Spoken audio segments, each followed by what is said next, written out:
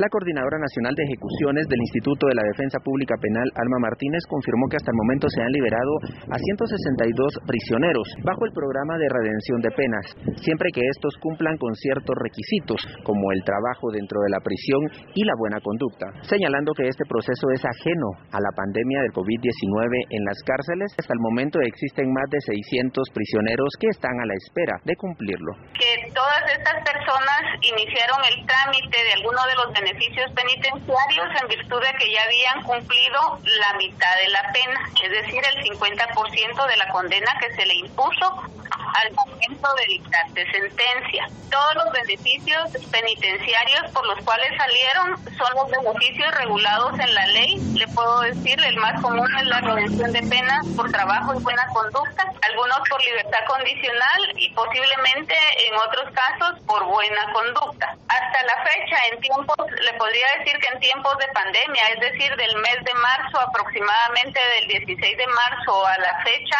en Guatemala y Chiquimula se han obtenido 162 libertades. Esta cantidad va cambiando debido a que todos los días los juzgados que están de turno celebran audiencias y el número de libertades de privados de libertad que han cumplido la mitad de la condena y que pueden aplicar a los beneficios penitenciarios va a ir cambiando día con día. Hasta el día de hoy tenemos a 162 personas libres. No, efectivamente, todas las personas que le estoy indicando, las 162 personas obtuvieron su libertad anticipada debido a que ya habían cumplido la mitad de la condena que se les impuso y porque reunían los requisitos de ley. Para Nuevo Mundo Noticias, René Fuentes.